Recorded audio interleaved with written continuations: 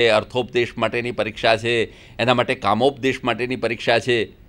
આ બધી જ પરીક્ષાઓ એને પાસ કરવી પડે અને જે પરીક્ષા એ પાસ કરે, પછી એના માટે એની નિયુક્તિ થાય. છેલ્લે ભયાવહ એવી એની પરીક્ષાઓ હોય છે અને એ પરીક્ષામાં પાસ થાય, ત્યાર પછી એ રાજાનું રક્ષણ કરી શકે. ત્યાં સુધી અમાત્ય ક્યારેય રાજાનું રક્ષણ કરવા માટે નિમાય નહીં. મને અહીં યાદ આવે છે સ્વપ્નવાસવ દત્તમ, મિત્રો. સ્વપ્નવાસવ દત્તમમાં જો ધ્યાનથી આપણે જોઈશું, તો આ બે ભેદ આપણને જોવા મળશે. યોગેન્દ્રાયણ યોજના કરે છે ખરો, પણ રાજાની પાસે નથી રહેતો. આ બહુ એક ધ્યાન રાખવા જેવી વસ્તુ છે. અને રાજાની પાસે કોણ રહે છે? તો રમણવાન નામનો મંત્રી રહે છે. આ બહુ અગત્યની વસ્તુ છે. તો રમણવાન નામનો મંત્રી રાજાની પાસે સતત રહે છે.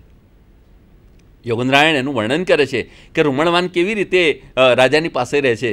તો કહે છે કે જો કદાચ રાજાનું મૃત્યુ થાય, તો એનું પણ મૃત્યુ થઈ જાય કે છે. નૃપતિ સમદોખમ પરિવહન. બહુ સરસ વાતચીત કરેલી છે ત્યાં સ્વપ્નવાસો દત્તમમાં તો મંત્રી અને અમાત્ય બે વચ્ચેનો ભેદ જાણવો હોય, તો સ્વપ્નવાસો દત્તમના આ બંનેને જોઈએ. અમાત્ય રીતે યોગુન્દ્રાયણ અને મંત્રીની રીતે રૂમણવાન, તો આપણને આ બંને વચ્ચેનો ભેદ ખબર પડશે કે ખરેખર એ શું છે. મંત્રી કેવો હોવો જોઈએ અને અમાત્ય કેવો હોવો જોઈએ. આ બંનેની વાતો આપણને એ એ રીતે મિત્રો સમજાશે. તો એક મહત્ત્વની વાત કે રાજાના કર્તવ્યો, તો એમાં પહેલી વાત આપણે જોઈ રહ્યા છીએ રાજા દ્વારા નિયુક્તિની. હવે રાજાના કયા કર્તવ્યો? આમ તો મિત્રો બધા જ અધ્યાયોની અંદરથી વાતો વીણવી એટલે આભમાંથી તારા ગણવા જેવું કામ છે. છતાંય મેં મારી રીતે એક નમ્ર પ્રયત્ન કર્યો છે. પહેલી વાત છે, રાજાએ ઇન્દ્રિય વિજય કરવો જોઈએ. શા માટે ઇન્દ્રિય વિજય? તો માણસ આજે જે ફસાતો હોય એ કામ, ક્રોધ, લોભ, મોહ, મદ અને મત્સર આમ તો આપણે છ ભાવ વિકારો કહીએ છીએ. અને આની અંદર માણસ ફસાઈ જાય છે. અહીંયા એક અગત્યની વાત એ છે, કૌટિલ્ય કહે છે કે કામ, ક્રોધ, લોભ કરો. પણ પછીથી આપણે મોહ, મદ, મત્સર કહીએ છીએ ને, એની જગ્યાએ એમણે પોતાની જુદી રીતે વાતચીત મૂકેલી છે. કે કામ, ક્રોધ, લોભ, ત્યાં સુધી તો બરોબર છે, પણ આપણે મદ કહીએ છીએ. મત્સર કહીએ છીએ. એની જગ્યાએ કૌટિલ્ય પોતાની રીતે વિચારણા કરે છે. તો ઇન્દ્રિય વિજય શા માટે? તો માણસ આખી જાત જગતને જીતી શકે, પણ ક્યારેય પોતાની જાતને જીતી શકતો નથી. જે જગતને જીતે એ વીર કહેવાય, જે જાતને જીતે એ મહાવીર કહેવાય. તો રાજાએ મહાવીર બનવાનું છે. પહેલાંના આપણા જે રાજાઓ આપણે જોઈએ, તો એ મહાવીર હતા. તો રાજાએ સૌથી પહેલાં શું કરવું જોઈએ? ઇન્દ્રિય વિજય કરવો જોઈએ.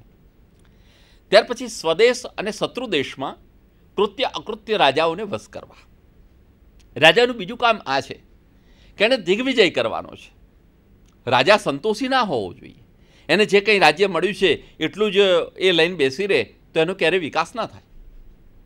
તો એણે સ્વદેશ અને શત્રુ દેશમાં જઈને રાજાઓને વશ કરવાના છે.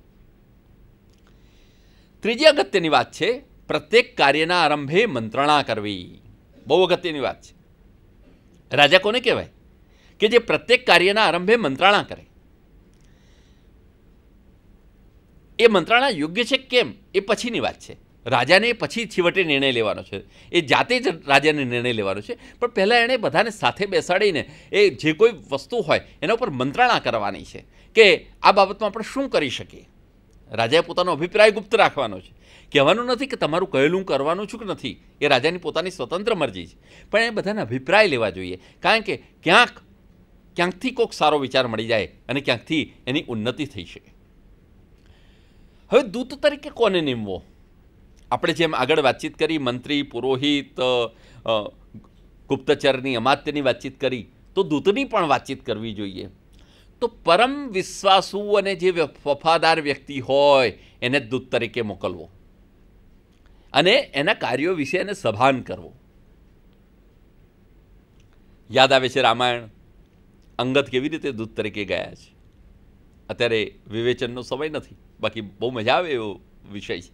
સાથે સાથે વિચાર કરીએ કે હનુમાન કેવી રીતે દૂત તરીકે ગયા છે? તો જ્યાં જ્યાં દૂત તરીકે જે વ્યક્તિ ગયેલા હોય, એ આપણે સંસ્કૃત સાહિત્યમાંથી જોઈએ, તો ખબર પડે કે દૂત કેટલો વિશ્વાસુ હોવો જોઈએ, કેવો વફાદાર હોવો જોઈએ.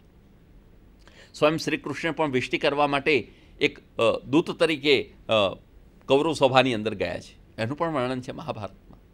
તો દૂત એ અગત્યની વસ્તુ છે, કારણ કે રાજાનો જે સંદેશો છે એ દૂત જ સામેના શત્રુ રાજાના દરબારમાં પહોંચાડી શકે છે. અને દૂત હંમેશા અવધ્ય હોય છે. રામાયણમાં પહેલી વખત આ દૂતનું અપમાન કરવામાં આવ્યું, હનુમાનજીનું અપમાન કરવામાં આવ્યું, એમના પૂંછડા ઉપર આગ લગાડવામાં આવી. આ પહેલી વખત કદાચ દૂધનું અપમાન થયેલું હશે. બાકી આપણા પરંપરામાં ક્યાંય દૂતનું અપમાન નથી થતું. દૂત હંમેશા અવધ્ય હોય. અને માટે જુઓ, દૂત તરીકે આપણા નારદ ઋષિ દેવોમાં પણ જઈ શકે અને દાનવોમાં પણ જઈ શકે. મુક્ત રીતે વિહાર કરી શકે. કેમ કે દૂત હંમેશા અવધ્ય હોય. એનું ક્યારેય વિવધ ના થાય. દૂતનું ક્યારેય બંધન ના થાય. કેમ કે તો પોતાની વાત રજૂ કરવા આવ્યો છે. પોતાના રાજાએ જે વાત કરી છે, એ વાત પહોંચાડવા માટે આવ્યો છે. એમાં એનો શું દોષ? એ તો ચિઠ્ઠીના ચાકર જેવો છે. તો જે કંઈ કહેવાનું છે, એ બીજા રાજાને, શત્રુ રાજાને જે કહેવાનું છે, એને કરવાનું હોય. પણ એ શત્રુ રાજાને બાનમાં લેવા માટે દૂતને ક્યારેય બાનમાં લેવાય નહીં. એને બંધી બનાવાય નહીં. આવી આપણી પરંપરાની આજ્ઞા છે. તો દૂત હંમેશા રાજાએ બહુ જ વિચારપૂર્વક એને કરવો જોઈએ. હવે બીજી એક મહત્ત્વની વાત કૌટિલ્ય કરી રહ્યા છે, એ મિત્રો બહુ સાંભળવા જેવી છે કે રાજપુત્રોથી પણ એને સાવધ રહેવાનું છે. કેમ કે ત્રણ પ્રકારના રાજપુત્રો હોય છે. બુદ્ધિમાન, આહાર્ય બુદ્ધિ અને દુર્બુદ્ધિ. આ ત્રણ પ્રકારના રાજપુત્રો હોય છે. હવે બહુ વિચારવા જેવી બાબત છે કે પોતાના પુત્રોથી પણ એને સાવધ રહેવાનું છે. પોતાનો પુત્ર થઈ ગયો, માટે લાડકોડથી એને ઉછેરીને મોટો કર્યો, એને પાળી પોષીને મોટો કર્યો, એને તૈયાર કર્યો, બધું જ કર્યું. પણ જો કદાચ એ જ એનો વિરોધી બની જાય તો? હિરણ્યકશુપુએ જેમ પ્રહલાદને દંડ દીધો હતો તો રાજપુત્ર હંમેશા રાજાની આજ્ઞામાં હોવો જોઈએ. જો રાજાથી વિરુદ્ધ વર્તન કરવા જાય, તો ભવિષ્યમાં શું પરિણામ આવે? તો કંશે જેમ ઉગ્રસેનને છેવટે બંદી બનાવી દીધા અને પોતે જ જાતે રાજા બની ગયું. આવું પણ પરિણામ આવી શકે. માટે રાજાએ પોતાના પુત્રો વિશે ખાસ સાવધ રહેવું. પોતાના ઘરમાંથી જ પહેલી ચીવટ રાખવાની કે કોઈ મારો શત્રુ તો નથી ને? તો રાજપુત્ર એ પણ એનો શત્રુ બની શકે. હા, ક્યારેક બને એવું કે કોઈક વખતે રાજકુમાર જે હોય એ વિપરીત રીતે વર્તતો હોય. તો એને સાન માનથી, દંડથી એને કાબૂમાં રાખી શકાય. પણ તમે જોઈ રહ્યા છો એમ દુર્બુદ્ધિ રાજકુમારથી હંમેશા સાવધ રહેવું. કારણ કે જેનામાં પોતાની જ બુદ્ધિ નથી, જે બીજાની બુદ્ધિથી ચાલે છે. અથવા તો જે કપટ બુદ્ધિ છે, એવો જો પોતાનો પુત્ર હોય, તો એનાથી પણ રાજાએ સાવધ રહેવું. અને જરૂર જણાય તો વિરોધી રાજકુમારને નજરકેદ પણ કરવો. જો પોતાનો પુત્ર વિરોધ કરતો હોય, તો એને નજરકેદ પણ કરવો જોઈએ. શા માટે? કારણ કે જો બહાર રહે તો પોતાના વિશે ગમે એમ અફવાઓ ફેલાવે અને રાજાનો જ સામે બળવો એક દિવસ કરીને ઊભો રહે.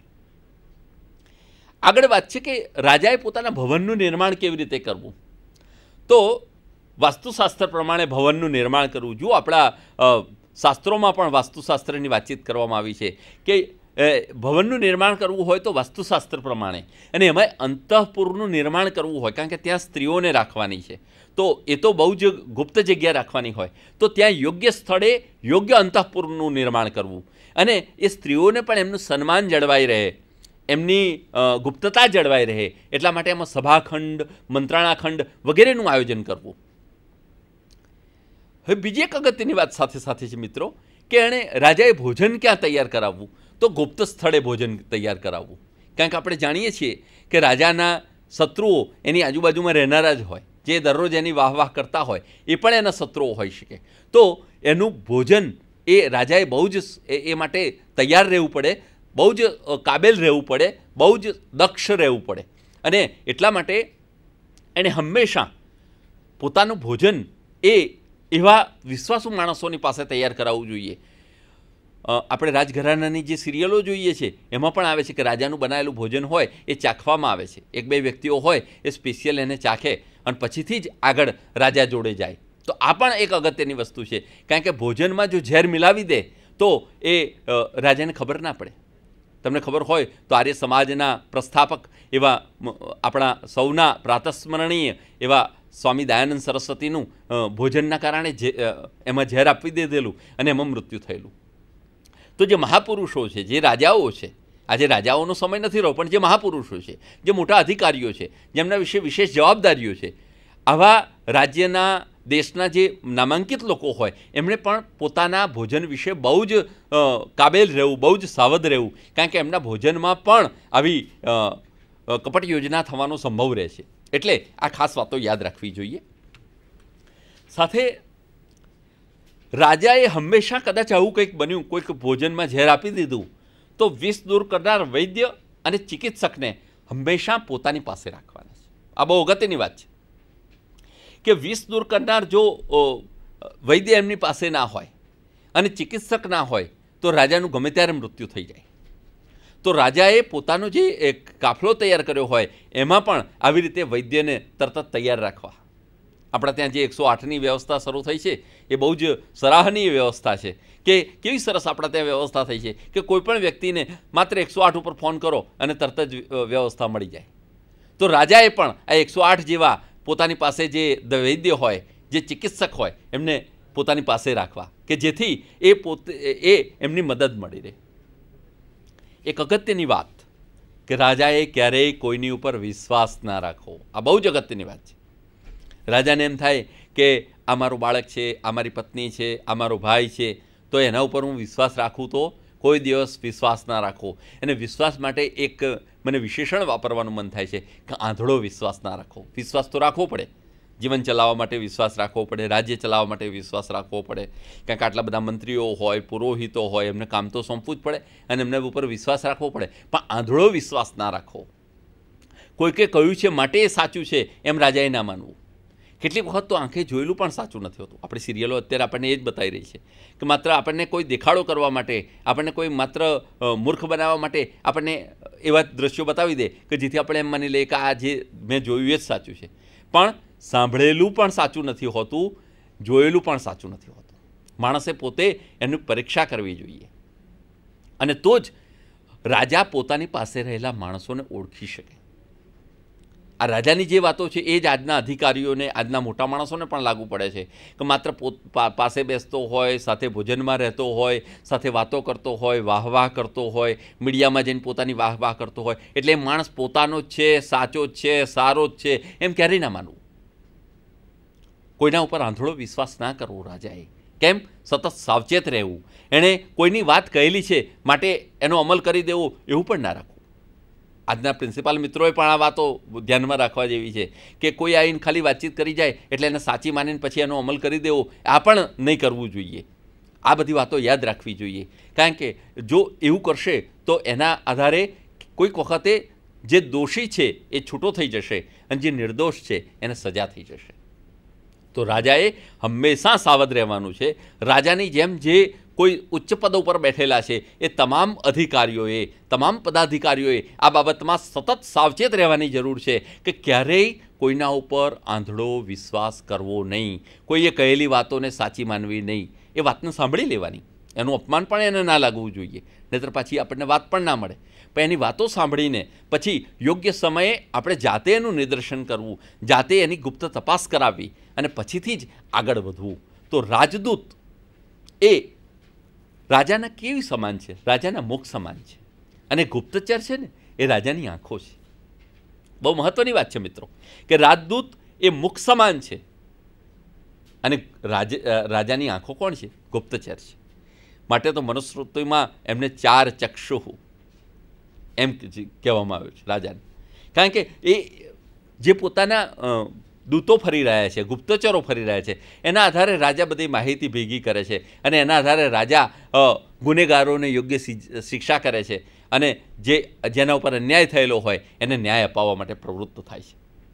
તો હંમેશા યાદ રાખવા જેવી બાબત છે કે રાજદૂતોની જ્યારે નિમણૂક કરવાની હોય, ગુપ્તચરની નિમણૂક કરવાની હોય, ત્યારે રાજાએ વિશેષ સભાનતા રાખવાની, વિશેષ દક્ષ રહેવાનું છે બંનેની પસંદગીમાં. કેમ? કે રાજદૂત અને ગુપ્તચર, આ બેના આધારે જ રાજાની મહત્તા છે. હવે ગુપ્તચરના મુખ્ય બે ભેદો કૌટિલ્યે પોતાના અર્થશાસ્ત્રની અંદર ગણાવ્યા છે. સંસ્થા અને સંચાર. આ બે મુખ્ય ભેદો છે. એના અન્ય પ્રકારો પણ તમે જોઈ રહ્યા છો સ્લાઇડ ઉપર. કાપટીક ઉદાસ્થિત ગૃહપતિક, વૈદેહક, તાપસ સત્રી તીક્ષ્ણ રસદ અને ભિક્ષુકી. એમ નવ પ્રકાર એના પ્રકારો પણ પાડ્યા છે. અને આ રીતે જે ગુપ્તચર છે, એના પ્રકારો આપ્યા છે. આ પ્રકારો આપણે જોઈ જોઈએ મિત્રો, તો આજના જમાનામાં પણ એટલા ઉપયોગી છે, આજના જમાનામાં પણ એટલા અગત્યના છે. કેમ કે જો આ પ્રકારો પ્રમાણે આપણે જોઈએ, તો ક્યાં કપટ કરવાનું છે? ક્યાં ઉદાર રીતે વર્તન કરવાનું છે? ક્યાં કોઈના ઘરમાં જઈને માહિતી લઈ આવવાની છે? ક્યાં કોઈની પાસેથી તાપસ વિશે જવાનું છે, ક્યાં કોઈ જુદા વિશે જવાનું છે, આ બધી જ માહિતી ગુપ્તચર પાસે હોવી જોઈએ. ગુપ્તચરે જેવો દેશ એવો વેશ કરવો પડે અને જેની પાસે તે માહિતી લેવાની હોય એવું એ એણે વેશ સજવો પડે, તો જ એ ત્યાં સુધી પહોંચી શકે. નહીતર પહોંચી ના શકે. તો એના માટે એણે સતત સજાગ રહેવાનું છે ગુપ્તચરે. એણે કયો વેશ ધારણ કરવો? કેવી રીતે કામ કરવું? એના માટે સતત એણે સજાગ રહેવાનું છે. જો એ સજાગ ના હોય, તો જો એનો વેશ ખબર પડી જાય. એટલે ગુપ્તચરે પણ પોતાનો જે વેશ લીધેલો છે, એની કદાચ રાજાને ખબર હોવી જોઈએ અને માત્ર એને ખબર હોવી જોઈએ. બીજા કોઈને એની ખબર ના હોવી જોઈએ. જો બીજા કોઈને એની ખબર પડી જાય, તો શું થાય? ગુપ્તચર બહાર પડી જાય. અને ગુપ્તચર બહાર પડી જાય તો રાજાના જે આખી યોજના હોય, એના ઉપર પાણી ફરી વળે. મને ફરીથી તમને સ્વપ્નવાસો દત્તમ વિશે વાતચીત કરવાની મન થાય છે કે ઉદયન રાજાને કેદ કરી લીધો. શત્રુ રાજા, મહાસેને. પ્રદ્યોત મહાસેને ઉદયનને કેદ કરી લીધો. હવે શત્રુ રાજાના નગરમાં જવાનું હોય તો કેવી રીતે જવું? તો ભાસ એના વિશે આપણને વાતચીત કરે છે કે જે ઉન્મત્તકનો વેશ છે એ યૌવનરાયણ પોતે ધારણ કરે છે. રોમણવાન બૌદ્ધ ભિક્ષુકનો વેશ ધારણ કરે છે. અને જે વિદૂષક છે એ ભિખારીનો વેશ ધારણ કરે છે. અને ત્રણેય જણા ખબર નહીં પડતા ઉજ્જૈની નગરીમાં પહોંચી જાય છે. હવે આવી વિચિત્ર વ્યક્તિઓ જુએ એટલે લોકોને તો પ્રશ્ન થાય જ કે આ કોણ હશે, શું હશે? એટલે એમની વાતો સાંભળવા આવે. તો એ વખતે અસંબદ્ધ પ્રલાપ કરે છે. પ્રતિજ્ઞા યોગંદ્રાયણમાં એનું સરસ વર્ણન છે. કેવો અસંબદ્ધ પ્રલાપ કરે? કે મેં અહીંયા પાડી ઉપર પેલી મારી ટોપલી મૂકી હતી એ કોણ ક્યાં ગઈ કે છે? એની અંદર લાડવા હતા ને કે છે? એ કોણ ખાઈ ગયું છે પછી કહે છે કે શિવજીની જોડે જે ટોપલી મૂકેલી હતી, તો કદાચ શિવજી ખાઈ ગયા હોય. ઊંચી દિવાલ છે એટલે કદાચ કૂતરા તો ના આવી શકે, પણ કે કદાચ કૂતરા પણ લઈ ગયા હોય કે કોઈ બીજું લઈ ગયું હોય. પછી આગળ વિદૂષક તો પાછો હાસ્યકારી વિદૂષક હા એટલે એ પોતે કહે છે કે, લાવ જરા જોઈ જોઉં, કદાચ મેં ખાધા હોય તો. પણ કે મેં ખાધા છે કેવી રીતે ખબર પડે? તો કે લાવ જરા ઓડકાર ખાઈ ખાઈ જોવાનો પ્રયત્ન કરું. કે જેથી ઓડકાર ખાઈ જાઉં તો ખબર પડશે કે મેં ખાધા છે કે નહીં.